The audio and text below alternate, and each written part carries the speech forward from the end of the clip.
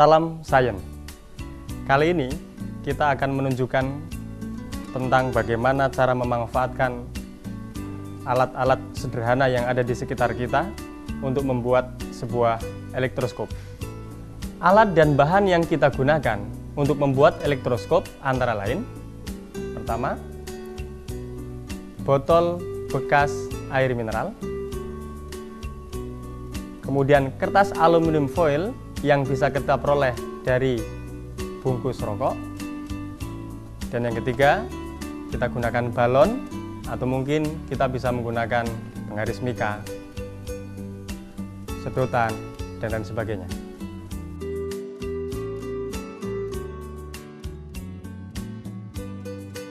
Yang pertama kita lakukan adalah kita mempersiapkan kertas aluminium foil yang bisa kita peroleh dari sebuah bungkus rokok. Namun persoalannya, di baliknya masih ada kertas biasa. Oleh karena itu kita akan membakarnya supaya kita menyisakan kertas aluminium foil saja. Mari kita bakar.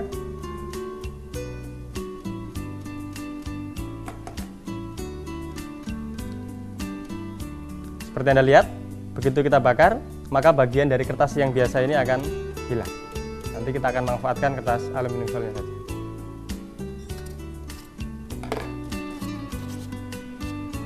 Setelah proses pembakaran selesai, maka kini kita tinggal menyisakan kertas aluminium foil seperti ini. Berikutnya kita siapkan kertas aluminium foil untuk membuat elektroskop dengan cara mengguntingnya secara tipis seperti ini.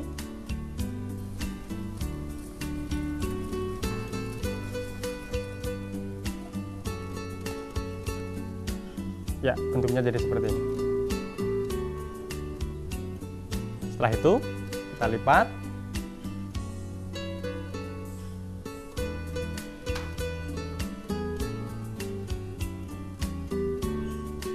Ya, kertas aluminium foil sudah siap untuk digunakan sebagai elektroskop.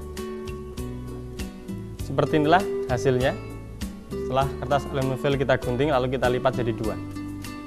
Berikutnya, kita siapkan botol mineral dengan cara melubangi tutupnya dengan menggunakan gunting seperti ini.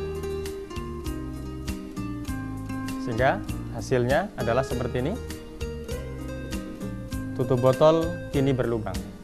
Setelah itu, kita lepas tutup botolnya dan kemudian kita pasangkan kertas aluminium foil yang sudah kita siapkan tadi ke dalam tutup botol.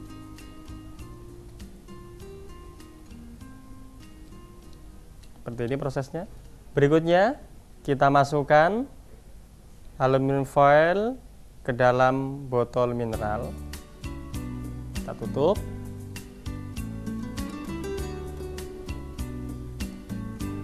Kita tutup. Ya, inilah elektroskop sudah siap untuk kita gunakan. Berikutnya, kita gosok-gosokkan balon ke rambut kita.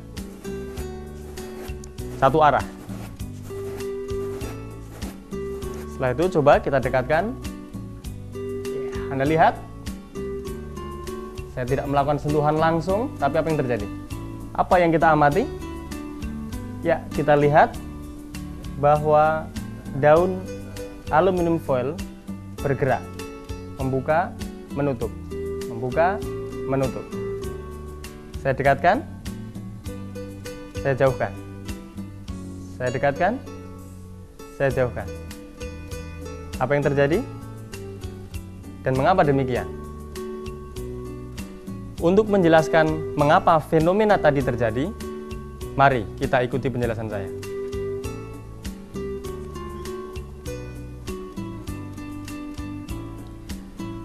Tadi kita amati saat balon yang sebelumnya sudah saya gosok-gosokkan di rambut saya didekatkan ke ujung elektroskop, maka daun elektroskop akan mengembang atau saling menjauh satu dengan yang lain. Mengapa itu bisa terjadi? Pada awalnya, daun elektroskop bermuatan netral. Artinya, komposisi muatan positif negatif tersusun seperti ini.